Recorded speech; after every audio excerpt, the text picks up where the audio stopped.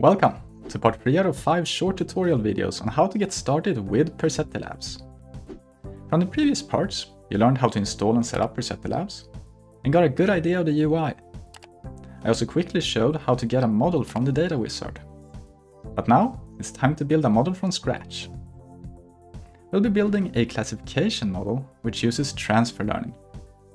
And hopefully, by using PerceptiLabs, we'll see just how easy that is. Okay, let's begin. For this new model, we're going to use a new dataset. It's still a public dataset, but this time we'll be using the one called brain tumors. It's a dataset from Kaggle, which has different images of MRI scans of brains, showing which brains have brain tumors and which ones don't, so we can perform image classification on them.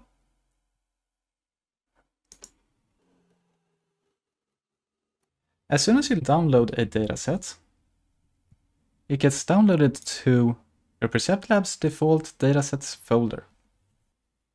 In here we can open it to take a look at what it looks like. For this dataset, besides the CSV file, we have two folders. One called No, which contains all the images without brain tumors, and one called Yes, which is the ones with brain tumors. The CSV file we're going to see as soon as we enter the data wizard, so we look at that there. Going back to the tool, we can now press the create button to create a new model. We already went through the data wizard last time, so here I'm just going to set that the images goes as input, the labels becomes our targets. I'll rename it to brain tumor model. And then press the create button. As we can see, the model got recommended just like before, so we have a nice baseline model to use. But this time, we're going to delete all of that and build a model from scratch instead. The model we'll be building is a transfer learning model, which uses a VGG16 component. We can find that component in here if we press it, hold the shift button and click down, we'll place it while also automatically connecting it to the previous component. Over to the right, we can see the settings of it. For this one, we're not going to change any settings.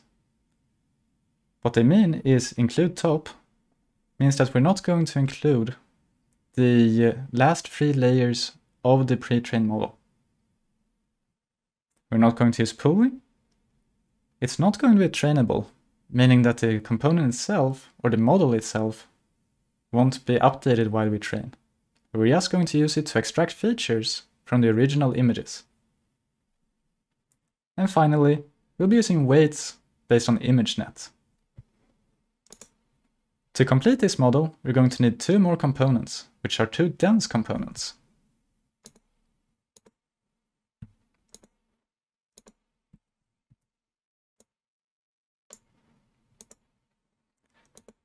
I'll set the neurons on the first one to 128.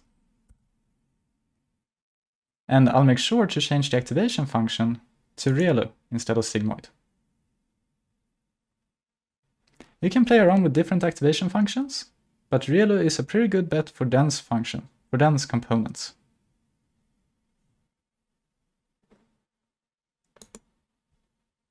In the second dense component, we want to make sure that the output is the same as the number in the targets.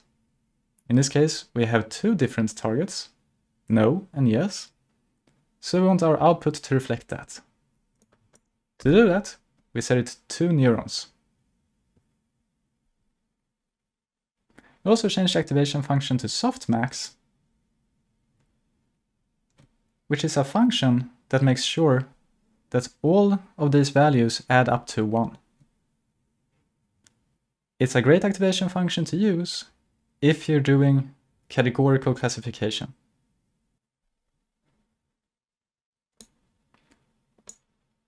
Then we just connect everything up and we're ready to go.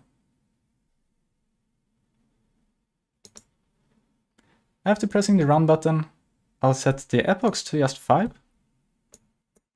We'll have a batch size of 4. The loss function we can change to cross entropy, as that is the best one for classification problems. And then we'll just press run. But that we'll leave for the next part of this tutorial series. Hey, I hope you had fun creating your very first model in PerceptiLabs. Now it's time to train and evaluate that model. Watch part 4 to learn how to do that easily in PerceptiLabs. And as usual, if you run into any issues or have any questions, please visit our forum at forum.perceptilabs.com or reach out to me directly at our Slack channel, link down below.